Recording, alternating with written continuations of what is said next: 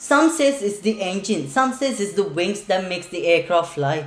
And there are tons of other videos out there on YouTube on the exact same topic. And how am I going to do better?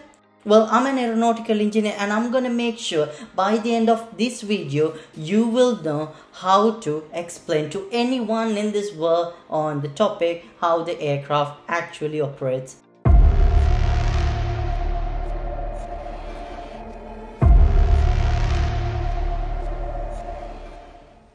So let's start with the basics, the four forces of flight. When the aircraft moves forward, that's by the use of thrust and the resistance for this forward motion is given by the drag and this heavy metal weighs a lot which acts downwards which is the weight and the star of the show which actually makes this flying possible is the lift. So let's start with thrust. Thrust provide the forward motion to the aircraft. Well, this is done by the engines. The simple physics behind this is the Newton's third law of motion. Every action has an equal and opposite reaction. Well, what's the reaction? The engines sucks the air in, compresses it, combusts it and send it through high speed from the exhaust and this is the reaction force that drives the aircraft forward. Now the second one is drag. Imagine yourself in a heavily crowded area.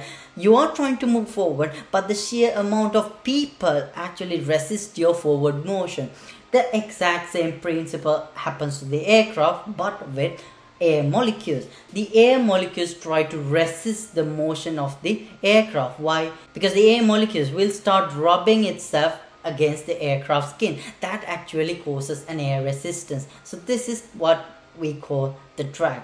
So number three is weight. Now weight equals mass into gravity. Now mass is measured in kilograms or grams.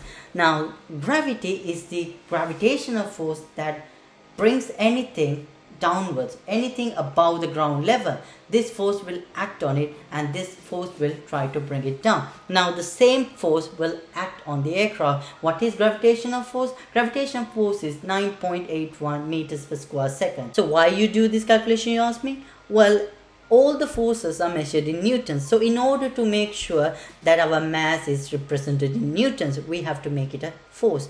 And how do we make it a force? Well by the use of equation W equals mg. So just a quick request, I'm a full-time engineer who does these YouTube videos in my spare times and a lot of time are allocated for these videos and the editing process as well. So I appreciate if you have learned something so far to press that subscribe button and I'm gonna make you a promise, I'm gonna make sure every other video that I'm gonna upload from now are gonna be more informative and in a way that everybody can understand. So if you have already subscribed to my channel, thank you very much. So the fourth force is the lift. Well, I'm going to come closer to you because I want you to clearly understand this. Well, if there's anything to take out of this video, this would be it. How do we generate lift? Well, I'm going to take an aerofoil shape to explain this better. Well, this is what an aerofoil looks like. So this is simply a cut cross section from the wing. Well, not this one, this is a piece of wood. But this shape, what we call aerofoil, is the cross section of the wing. So long ago, there was this person named Bernoulli who actually mentioned Static pressure plus dynamic pressure is a constant.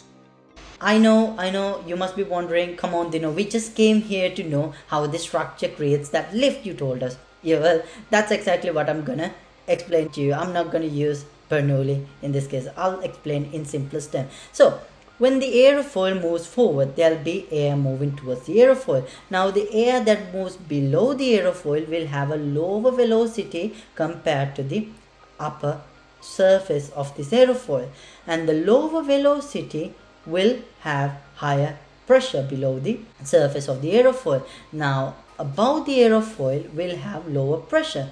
Now this pressure difference where the below pressure is higher than the above pressure, this pressure will create the aerofoil towards the sky. So that's basically how the lift is created. But you must be wondering, wait, you know, you just said pressure increases, velocity decreases, velocity decreases, pressure increases, but we don't understand how does this happen. Well, this happens like this.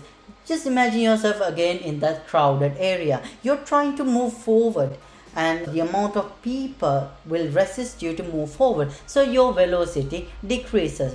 Now what does increase?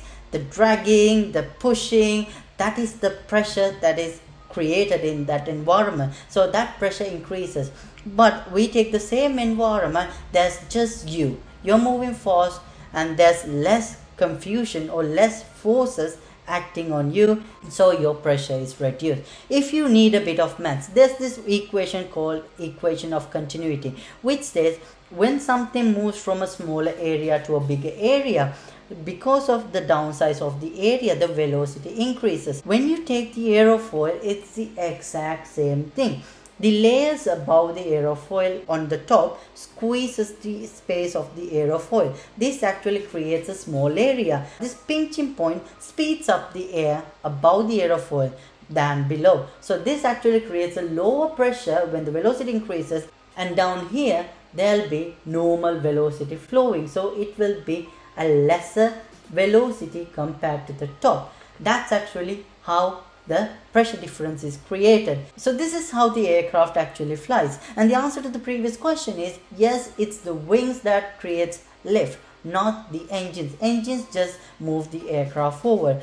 I hope this video was helpful and if you still have questions that need answers, put them down in the comment section. I'll look at them and I'll try to answer them. So if you're the person who doesn't want to stop learning, click on the video above which explains how the engine works. And if you want to know how the aircraft moves and maneuvers itself, click on the link below which explains how the aircraft does this thing and don't forget to subscribe if you haven't and if you have already subscribed thank you very much i'll see you next week with another video